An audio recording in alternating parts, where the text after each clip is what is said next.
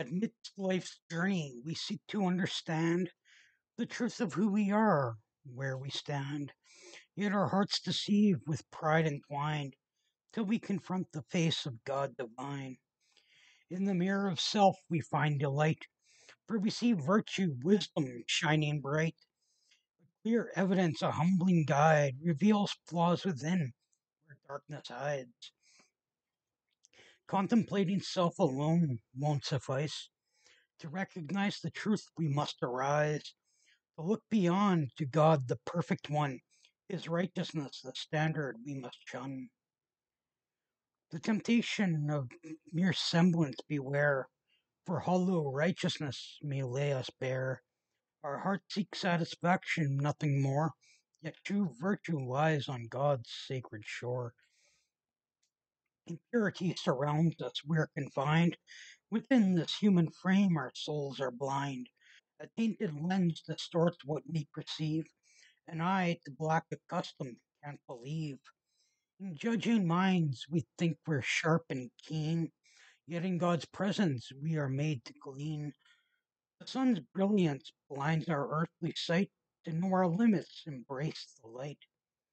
When earthly standards blind our eyes to righteousness, we think we rise.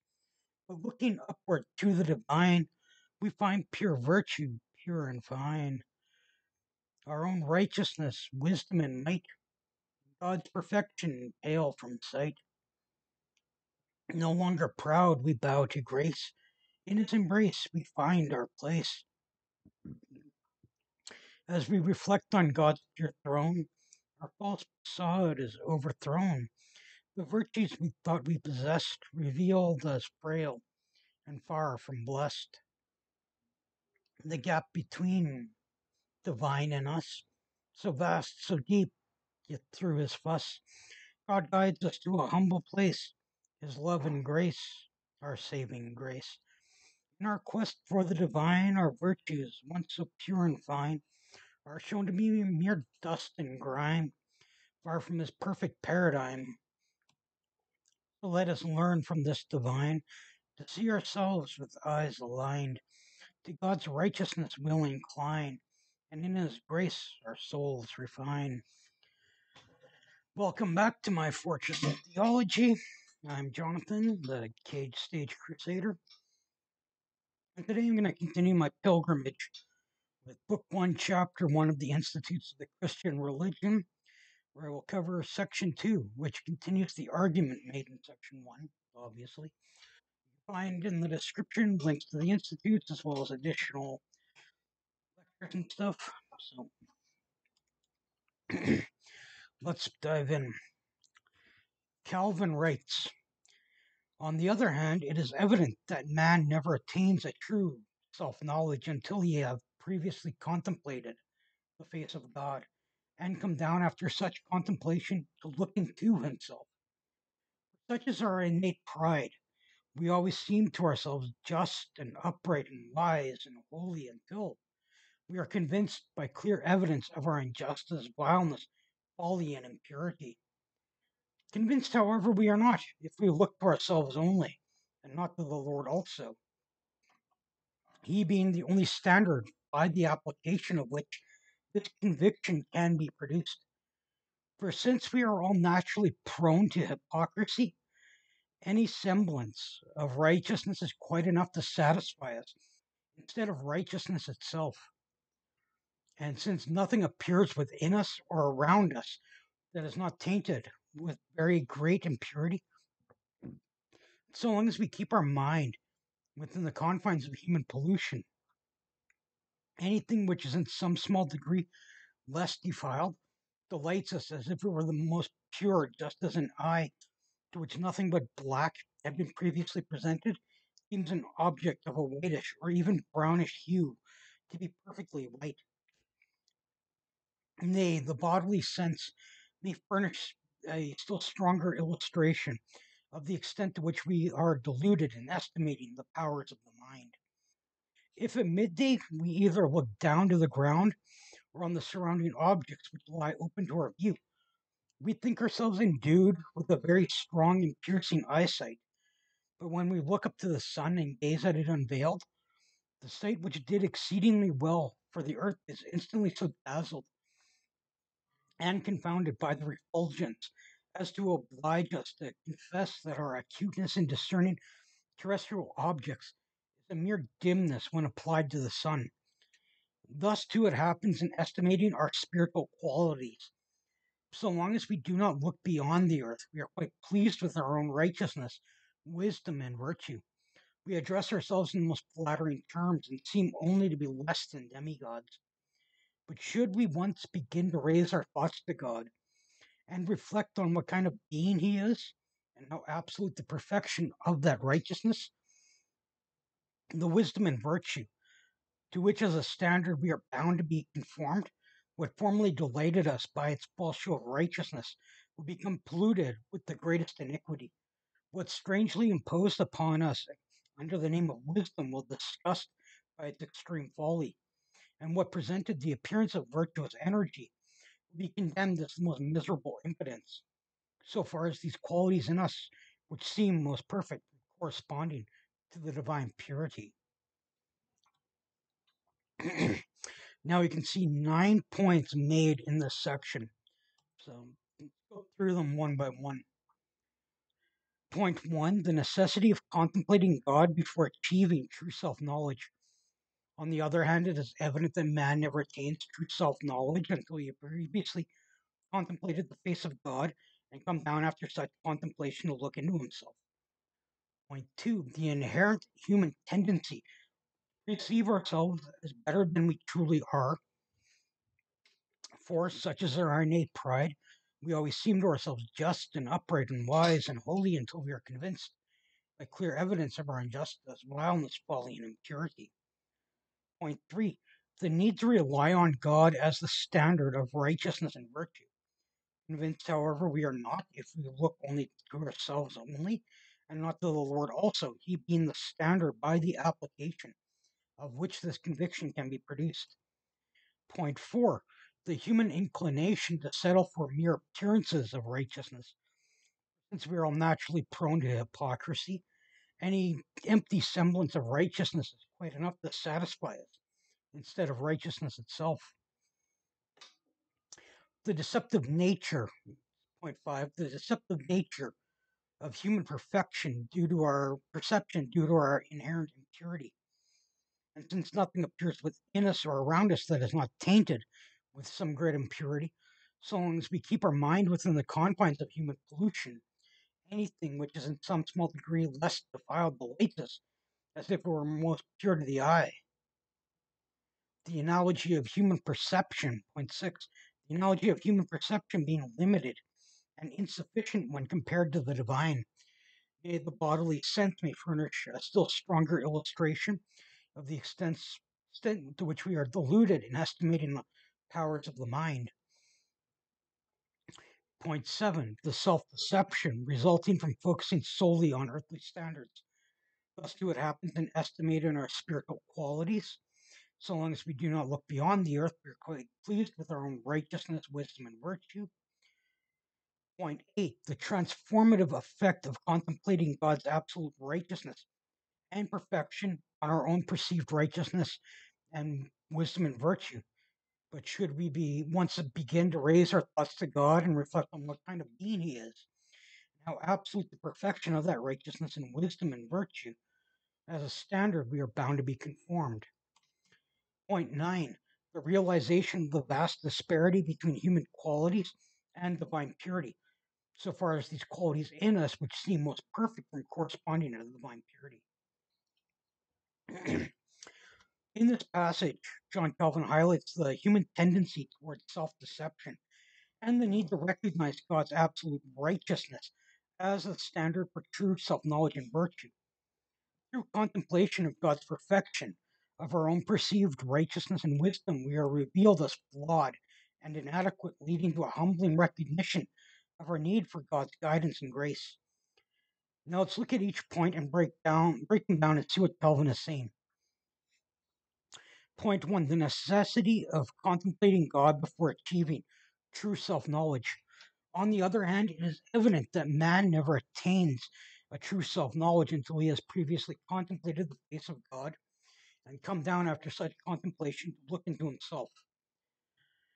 All people, to one degree or another, perceive themselves as smart, kind, and honest, confident in our abilities, and believe we make good decisions. However, others, such as teachers and classmates, will notice that we sometimes exaggerate our achievements and tend to avoid taking responsibility for mistakes. We can break the self knowledge down into a number of points to drive home what is meant. Our perception of ourselves illustrates how people often have a certain image of who they are. We may believe we possess a certain positive qualities, but the self perception might not always align with reality. Many, if not most of us, have a natural inclination to see ourselves in a favorable light and downplay our flaws. Now, let's say we attend a lecture where a speaker shares stories of extraordinary individuals who've made a positive impact on their communities through acts of kindness, determination, and humility. These stories showcase a higher standard of virtue and goodness. As we listen to the speaker and reflect on the remarkable qualities these individuals embody, we begin to question our own character. We realize that our perception of ourselves may not be entirely accurate or based entirely on the best standards. After the lecture, we take time to contemplate the idea of God or a higher power. We consider the values and virtues associated with this divine being, such as love, honesty, compassion, and humility. With this new perspective in mind, we start to honestly assess our own actions, thoughts, and intentions. We realize that although we might be kind and smart in some ways, we also have room for growth. We recognize our tendency to exaggerate, avoid responsibility, or be less compassionate at times. Through the process of contemplating God's higher standards and honestly examining ourselves, we gain a truer understanding of who we are. We acknowledge our strengths and virtues, while also recognizing our flaws and areas for improvement. The idea of contemplating God before achieving true self knowledge suggests that by recognizing a higher standard of virtue and goodness, individuals can gain a more accurate understanding of themselves. When we take time to reflect on qualities associated with a divine being, such as kindness, honesty, and humility, we begin to examine ourselves with a new perspective. This process leads to a deeper self awareness, allowing us to acknowledge our strengths and flaws, and motivates us to grow and become better individuals. Contemplating the face of God serves as a lens through which we achieve true self knowledge and strive to align ourselves with higher ideals. Second point in section two is, that Calvin makes is the inherent human tendency to perceive ourselves as better than we truly are. For such is our innate pride. We always seem to ourselves just and upright and wise and holy until we're convinced by clear evidence of our injustice, violence, quality, and impurity. We often believe we are always right and rarely making mistakes. We will often boast about our achievements and likes likes to show off our intelligence. We have a tendency to downplay or ignore our shortcomings, believing that because we don't do anything that merits jail time, we are just upright, wise, and morally superior to others. Now let's break down what this proclivity towards self righteousness actually entails. Our self perception illustrates how many people tend to view themselves in a positive light. We may believe we possess qualities like intelligence, kindness, or leadership skills, and see ourselves as more virtuous than others. This self perception leads to selective memory. We conveniently remember instances where we succeed, receive praise, or excel, like academically. We might focus on positive feedback and dismiss or forget times when we struggle or make mistakes. This selective memory reinforces our belief in our own superiority, which causes us to ignore feedback. When receiving constructive criticism for others, we tend to become defensive or brush off the feedback we find it challenging to accept criticism or acknowledge areas where we need to improve. And because of our self importance and ignoring the criticism, we are often filled with a desire to impress others or to offset our imperfections. In social situations, we might exaggerate our accomplishments or tell stories that make us appear more impressive than we actually are. This desire to impress others contribute to an inflated self-image. This inflated self-image is only broken when reality hits us in the face with our feelings. As time goes on, we encounter situations where our knowledge is challenged or where we make errors. Perhaps we struggle with a challenging assignment, receive a lower grade on a test, or find ourselves in a conflict with a friend. Thus, when faced with clear evidence of their mistakes and shortcomings, we might feel embarrassed or disappointed. These moments force us to confront the reality that we are not as perfect or infallible as we once believed. As a result of these experiences, we start to realize that everyone makes mistakes and that we are not as faultless as we thought. This recognition leads to personal growth and humility as we learn to accept our imperfections and take responsibility for our actions. This inherent human tendency to perceive ourselves as better than we truly are is a common experience for everyone. Many individuals showcase their accomplishments, ignore criticism, and downplay their flaws. However, as life presents challenges and mistakes are made, individuals are confronted with the reality of their imperfections. These moments of clarity offer an opportunity for personal growth and humility as they come to understand that no one is perfect and acknowledging our weaknesses is an essential part to becoming a better and more self aware person. the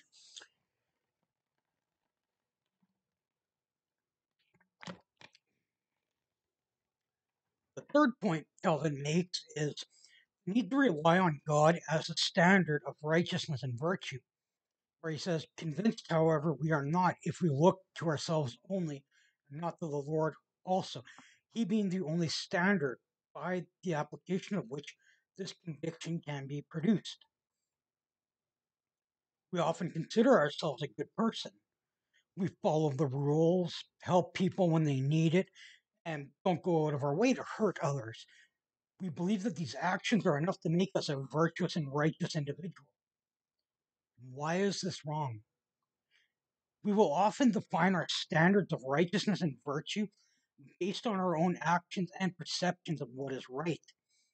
We see ourselves as good because we follow certain rules and engage in positive behaviors.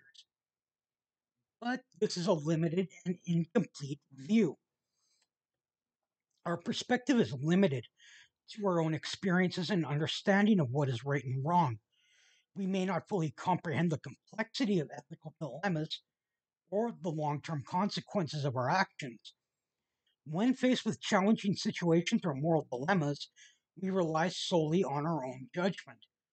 We might not consider seeking guidance from external sources like religious teachings, ethical principles, or spiritual beliefs.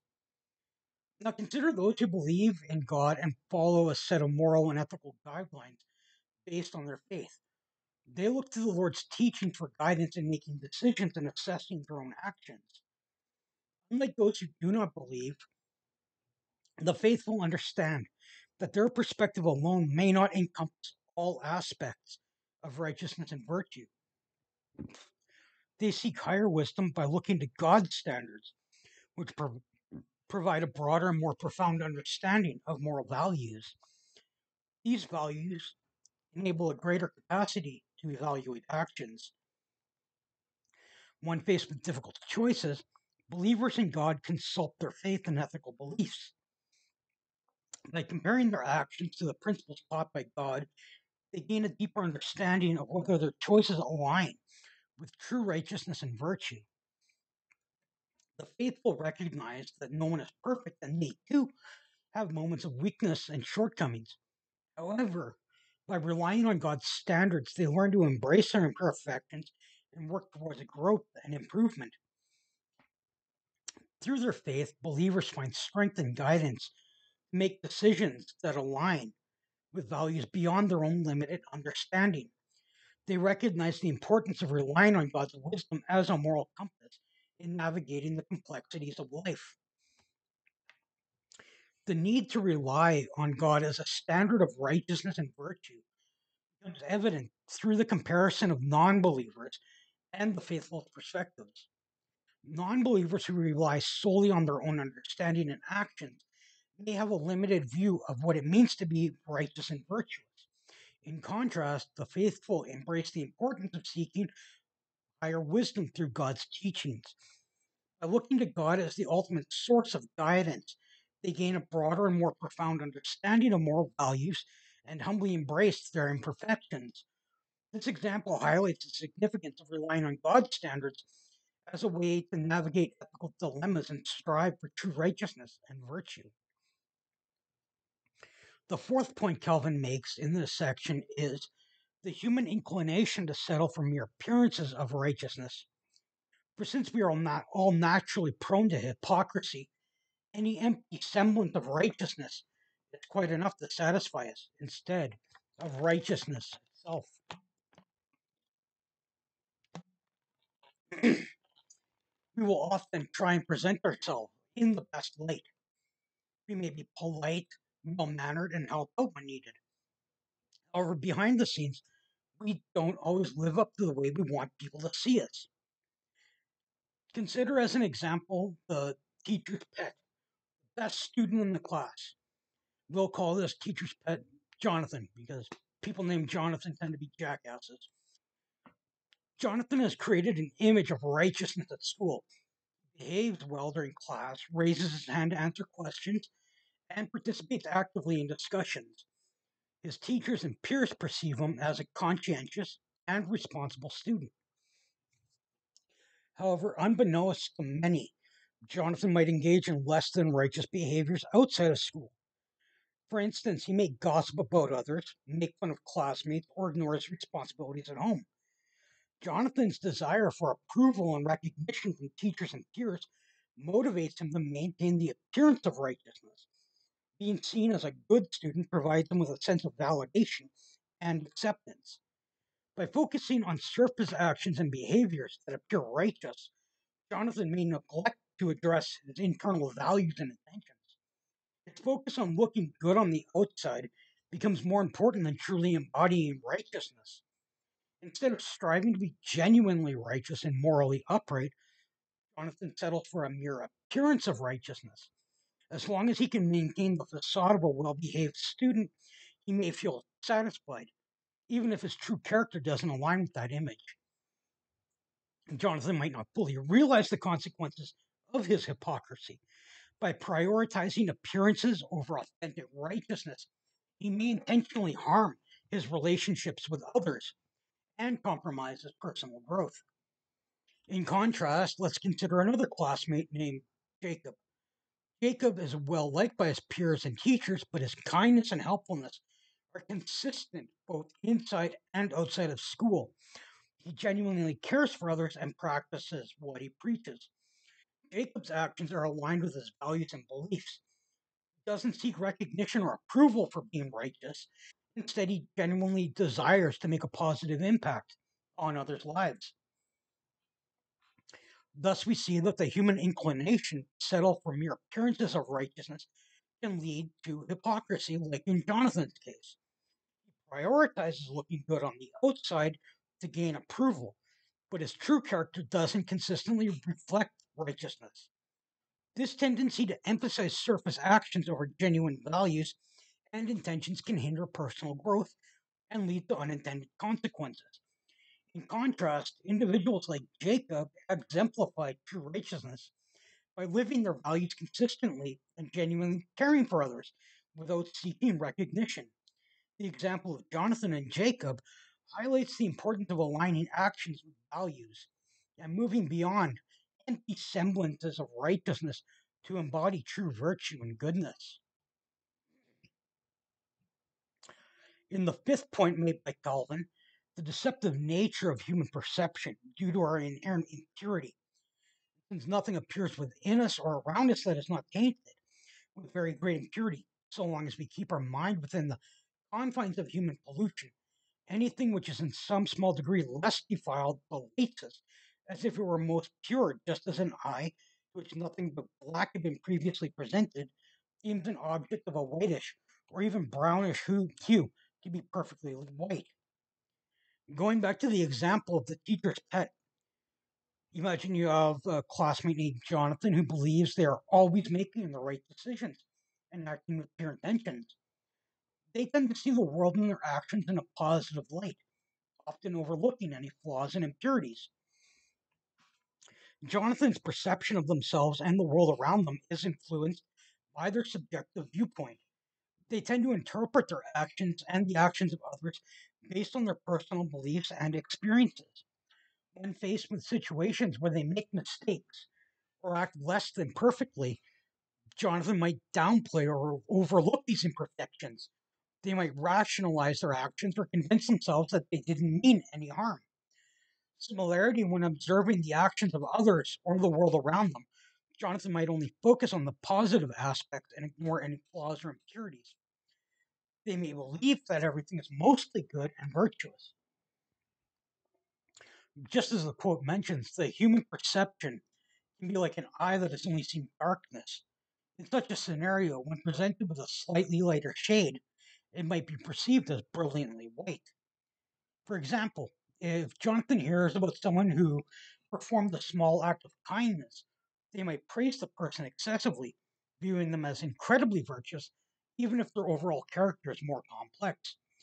When Jonathan reflects on their own ex- actions, they may ignore or make excuses for any negative impact they had on others.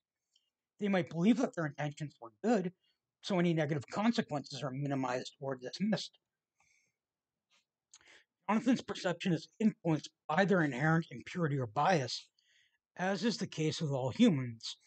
This impurity affects their ability to see things objectively and leads them to misinterpret reality. Now, consider another classmate named Lily. Lily is a more self reflective and aware of her own imperfections. She acknowledges that everyone, including herself, has flaws and makes mistakes. Unlike Jonathan, Lily doesn't have a tendency to only focus on the positive aspects of people or situations. She takes a more realistic approach and understands everything has a mix of good and not so good qualities. Lily's awareness of her own impurities and biases allow her to be more empathetic and understanding towards others. She recognizes that the deceptive nature of human perception requires continuous self reflection and growth. The deceptive nature of human perception, influenced by our own inherent impurity, can lead to a distorted view of ourselves and the world around us, as seen in Jonathan's case.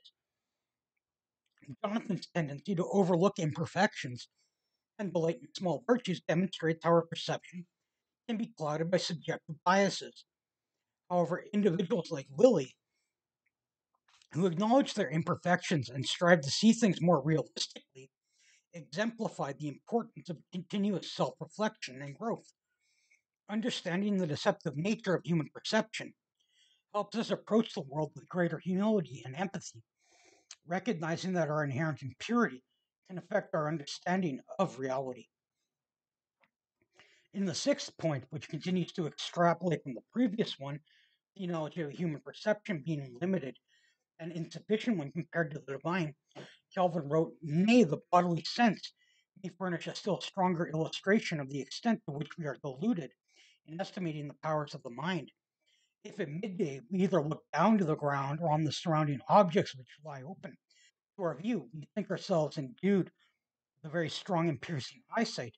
But when we look up to the sun and gaze at it unveiled, the sight which did exceed excellently well, for the earth is instantly so dazzled and confounded by the refulgence, so as to oblige us to confess that our acuteness in discerning terrestrial objects is a mere dimness when applied to the sun.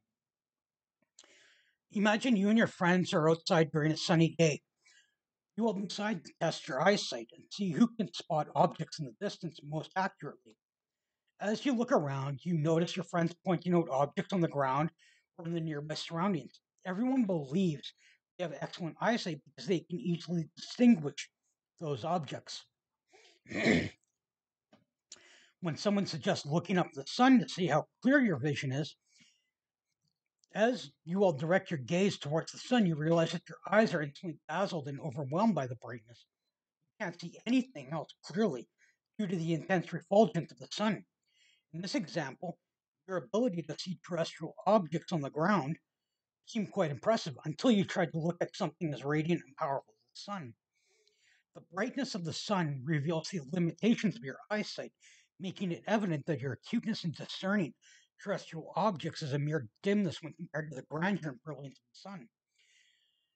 Likewise, the quote suggests that our human perception is limited and insufficient when compared to the divine. In the analogy, the sun represents the divine, and our eyesight represents our perception as human beings. As humans, we can perceive and understand the world around us to a certain extent. We can observe and analyze things based on our experience and knowledge. However, when it comes to understanding the vastity, vastness and complexity of the divine, our human faculties fall short. The divine is beyond the scope of our comprehension, just as looking directly at the sun overwhelms our vision. The analogy encourages us to recognize the limitations of our human perception and understanding.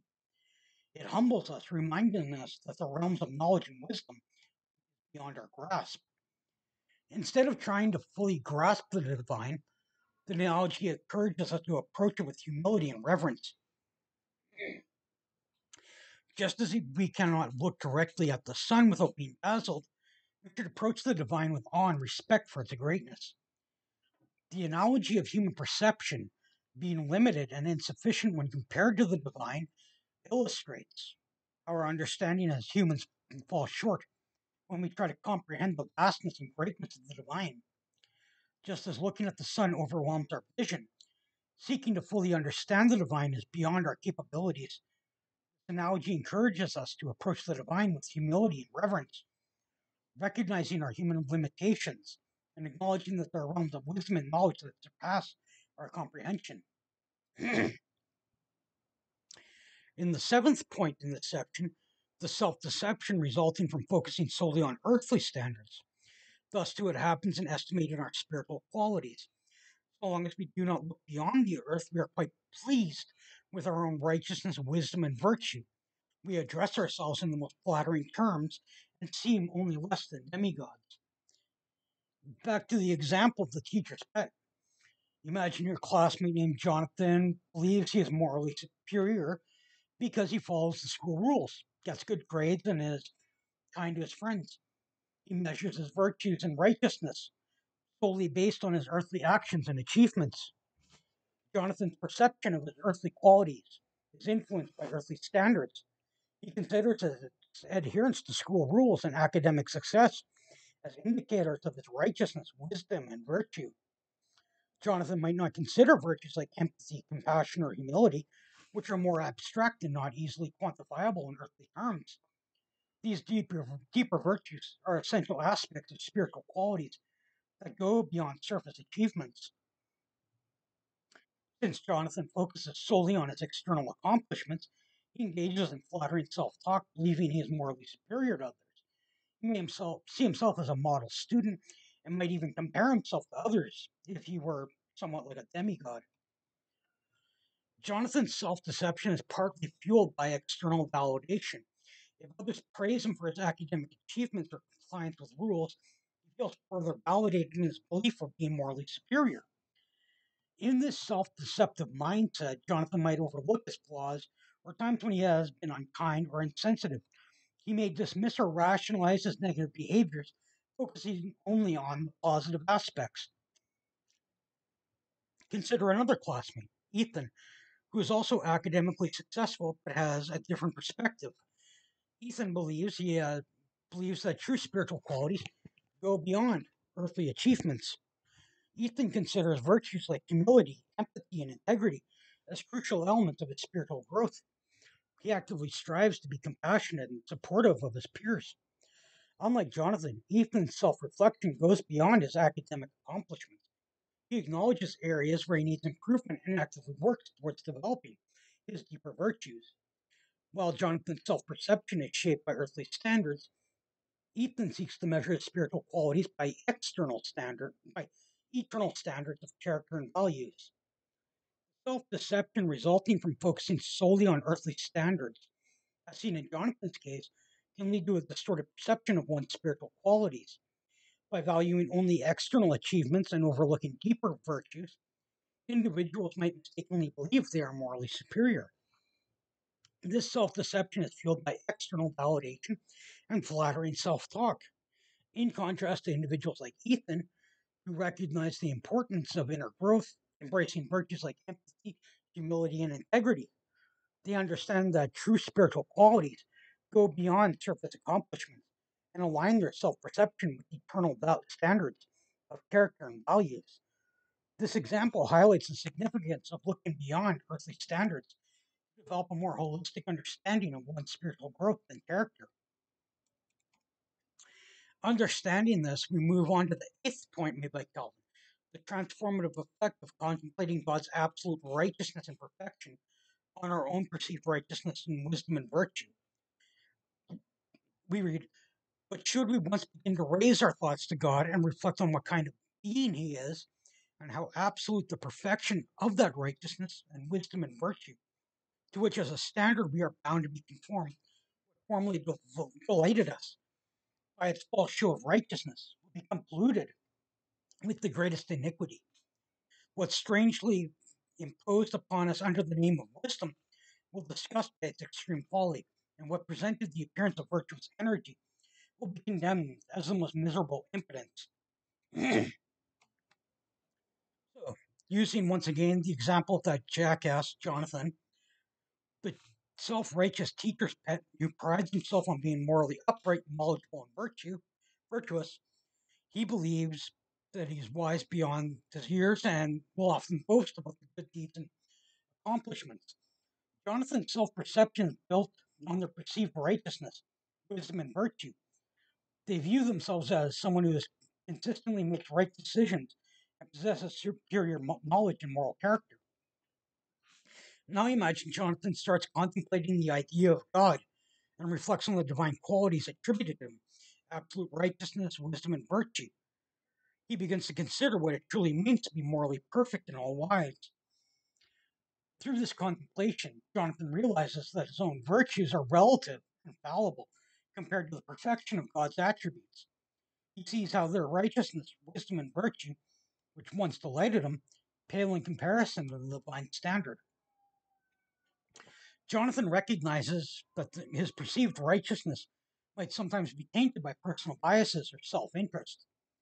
The wisdom, which once uh, believed to be profound, seems shallow compared to the vastness of divine wisdom. Contemplating God's wisdom exposes limitations of their own knowledge. They might identify past decisions or beliefs that, upon reflection, were not as wise as they once thought. as Jonathan internalizes the vastness and perfection of God's righteousness, wisdom, and virtue, they experience a transformative effect. Their previous self perception starts to shift. Instead of boasting about their righteousness, wisdom, and virtue, Jonathan becomes humbler and more open to learning and growth. They acknowledge they are on a journey towards becoming better and cannot attain divine perfection. While Jonathan knows they may never achieve God's absolute standard, they now strive to align their actions and beliefs with those virtuous qualities. They become more self, more reflective, and open to improving their character. Contemplating God's absolute righteousness and perfection has a transformative effect on our own perceived righteousness, wisdom, and virtue. Like Jonathan, individuals may initially see themselves as morally superior and wise, but reflecting on the divine standard reveals their inadequacies this contemplation fosters humility and a desire for growth as they recognize their relative virtues in light of God's perfection. While they may never reach divine perfection, the transformative effect encourages them to align their actions and beliefs with virtuous qualities. The example of Jonathan illustrates the power of contemplating God's attributes in shaping our self perception and fostering personal growth and humility. The ninth and final point Calvin makes in this section, the realization of the vast disparity between human qualities and the divine purity. So far, those, you know, so far as those qualities in us, which seem most perfect, from corresponding to the divine purity. Our example of Jonathan, who prides himself on always doing the right thing and being morally a, upright person. He strives to be kind, compassionate, and honest in his inter- interactions with others. Jonathan's self perception is based on the belief that he possesses qualities like kindness, honesty, and compassion, which he considers to be virtuous and admirable. Now let's consider the concept of divine purity the idea that God is absolutely pure without any flaw and possesses perfect qualities like unconditional love, boundless compassion, and unwavering honesty. When Jonathan compares his own qualities to the ideal of divine purity, he begins to realize the vast disparity between his human virtues and the perfection of divine attributes. Jonathan recognizes that his kindness, though commendable, may sometimes come with conditions or be influenced by his mood or personal biases. He acknowledges that he is, his honesty might occasionally waver when faced with difficult situations. While Jonathan strives to be compassionate, he understands that his compassion is limited by his human emotions and capacity to understand the depths of others' pain or struggles. Contemplating the concept of divine purity helps Jonathan realize that as a human being, he is inherently flawed and limited in his ability to embody absolute purity and perfection. Instead of feeling discouraged by this realization, Jonathan embraces his imperfections as part of being human. He recognizes that the ideal of divine purity sets a standard that he can continually aspire to, but may never fully achieve. Rather than seeing the disparity between human qualities and divine purity as a discouragement, Jonathan uses it as a catalyst for personal growth. He understands that he can continually work on improving his virtues and aligning his actions with the divine standard. The realization of the vast disparity between human qualities and the divine purity, as experienced by Jonathan, brings about humility and self awareness. As on the perfection of divine attributes, he recognizes that his own imperfections and limit, limitations as a human being. This realization does not diminish the value of his virtues, but encourages him to continually strive for growth and improvement.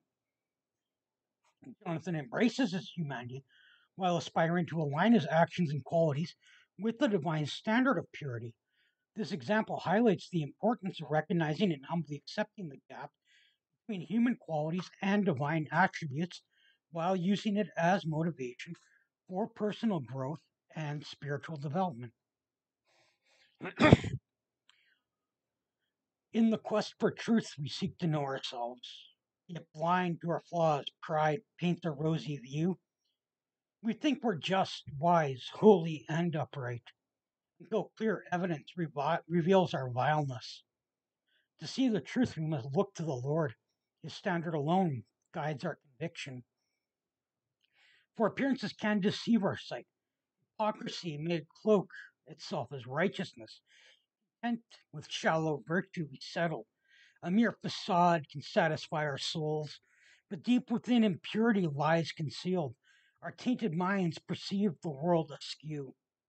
Like eyes that claim keen sight on earthly things, yet gaze upon the sun, revealing dimness. So our perception falls short of the divine when focused only on this mortal plane. With flattery, we dress our righteousness as demigods we bask in shallow praise. But raise your thoughts to God. Behold the space, absolute perfection, wisdom, virtues, grace. As we contemplate his resplendent light, false shows of righteousness turn into sin. Wisdom's pretense reveals its empty guise, virtuous energy exposed as weak and futile. In ourselves, we chase what seems perfect, yet divine purity eludes our grasp. No match are we for God's flawless glory. Humility dawns as we recognize our earthly traits fall short of His great love, and in this humbling we find His grace. Through Calvin's words, this lesson he imparts to seek true self knowledge, we must start with contemplation of the face of God, His standard of righteousness and virtue's rod. For earthly views deceive and pride denies the vast disparity twixt God and I. In Institutes of Faith, Chapter 1, we explore Section 2, unveils wisdom's sacred door. John Calvin's prose, a beacon burning bright, seekers through the realms of divine light. From self to God, the journey's path is traced, two parts entwined by threads of truth embraced. First, knowledge of ourselves, the introspection deep, a mirror held our flaws and virtues to keep. Yet as we gaze, our eyes are drawn above to God, our source of life, the fount of love. Like streams that lead to an eternal sea, our blessings blow the current pure and free. The human plight from Adam's fall we see, a vast, a ruin vast, a lost humanity. In our distress we turn our eyes above, aware of need of God's redemptive love. Our misery reveals a truth profound. In God alone, true wisdom can be found. From ignorance to vanity we roam. In weakness, want, and sin we find no home. But through this darkness shines a gleam of grace, a call to seek, a yearn for God's embrace. Our discontent drives us to upward gaze, as fallen souls seek wisdom, guiding rays. In poverty of spirit we confess in God resides our truest blessedness. From our own evil good we strive to know a journey toward the light from depths below. Through turmoil, doubt, and struggles that we face, we are drawn to God, our refuge and our base. Thus, self awareness leads to God's embrace, a dance of hearts, a sacred interlace. In seeking Him, we find our souls made whole, His wisdom, virtue shaping heart and soul. So let us journey forth with open eyes from self to God, where truest wisdom lies. Institutes of the Christian Religion, first chapter's plea. Section 2 unfolds a path for all to see. John Calvin's words of beacon strong and clear, guiding hearts to God, dispelling doubt and fear. Through knowledge of ourselves, we find the key to contemplate God's light, unshackled and free. Until next time, Follow after Jesus, who is the way.